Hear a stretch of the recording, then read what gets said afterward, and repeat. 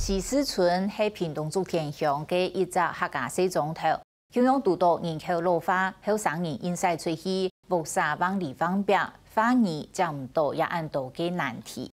除了西施火车站以外，一只庄头戏唱嘅本人听表系的。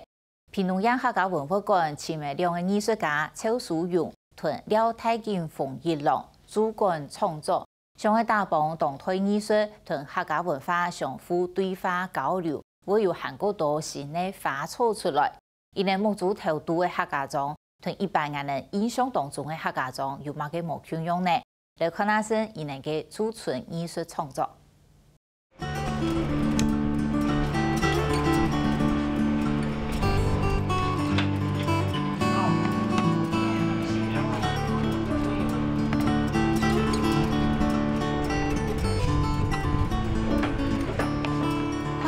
平房的细细插火潮湿地位，让热从日阳旁涌的面光灯也无天。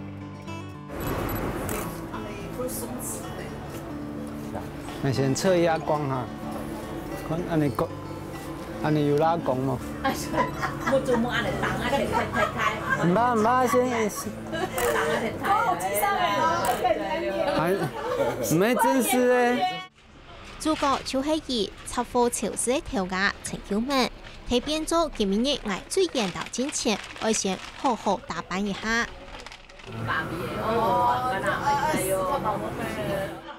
所跳那么大，团跳那么贴贴啦。安尼安尼有好三间艺术室吗？哦，差不多可以，三十岁有哦，三十岁有哦。又系大粉，又系整理衫裤，pose 安用的牌，眼样子行不是来指头一下。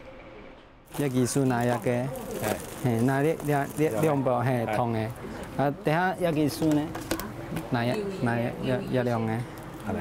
嘿，我系 T 八号本来呢镜头的翕拍，感觉佢欢喜，啊，有同人抹头啦，哦，打扮啦，哦，同以前翕相唔一样。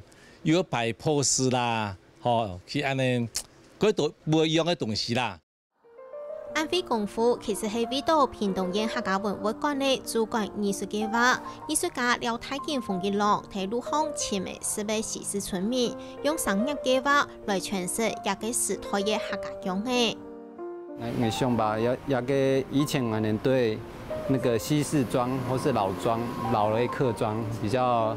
比较落后的印象扭转，用数位摄影来记录现在的客装，所以现在的客装其实跟我们脑袋残留的印象其实是有落差的。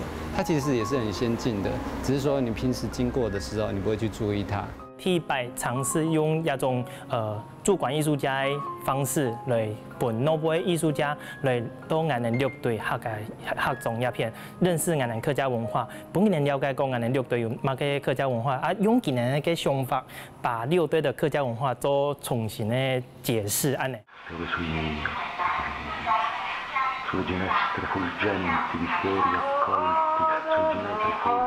艺术家邱淑荣的作品《时光飞浪》是跨两物复合外材种子，以下过的上夫调调起来，搭配上演的风俗，而带观众重起旅行用的。观众一开始先要来到这个场地之前，他会先先听到声音。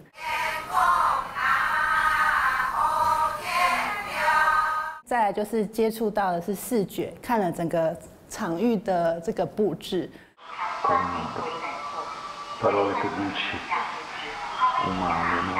然后触觉的话，地上的有准备毯子，还有枕头，然后观众可以到依他们喜欢的位置，他去移动这个毯子呢，或是枕头，那这是触觉。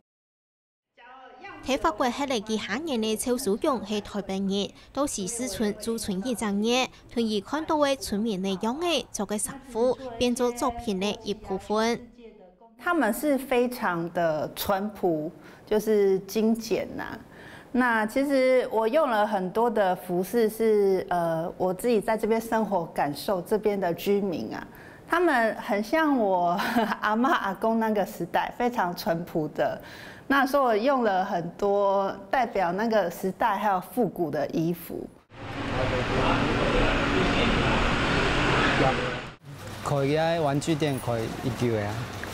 我都我有啊，都玩具店哦？你八千咩哦？系啊。为到正式呈现客家庄的上面生活，太近行体路巷就同意上家门讲下话，看到研究们做得不爱翕相貌。白墙的店的阿伯婆每本日前去翕，成功翕出来也阿伯婆体重调度，声音的情感调度，强落的现象。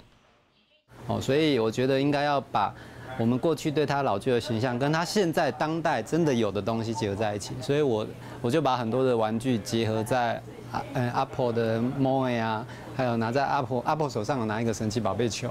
对，因为他每天都有在卖，所以其实他是神奇宝贝球大师。阿面都老人家唔怕啦，哦，可以按叫啲阿妹，叫咩唔怕，唔一样嘅呀，哦，唔会做那个坏事情啦，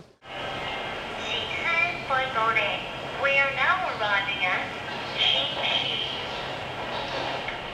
牛的，不要木中央啊，不用做要下雨嘅得啊。碌卡走排菜，炒太长，诶，炒猪肚，诶，客家小炒，红肉一碟喂。特别出色，廿两年能贵到客中生活的太监和贴片六个亚流主角，平常时讲客嘅声，为观众重新来看来谈一下时事的行业。那因为我有遇到年轻人，他二级认证，然后学了很多，会念很多诗词、山歌、读本，但是。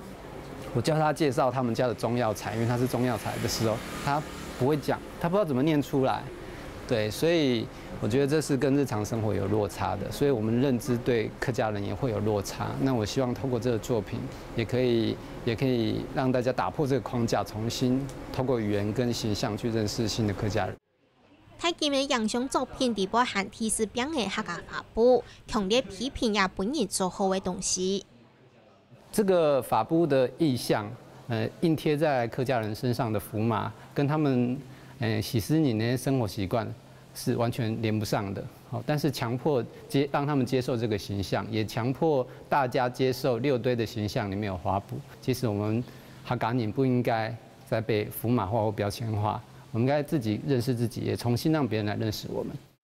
伊个系睇世界就从照下边外体艺术家，伊个系贵岛家乡嘅客家艺术家，伊能睇时事村一个四种条前灵感创作艺术作品，表现伊能看到嘅客家，想爱跳出本人做好是快快嚟嘅客家印象，咁唔对客家嘅印象起乜嘅呢？其实做得行一种客装，重新感受来看来谈真实嘅客家嘅样嘅。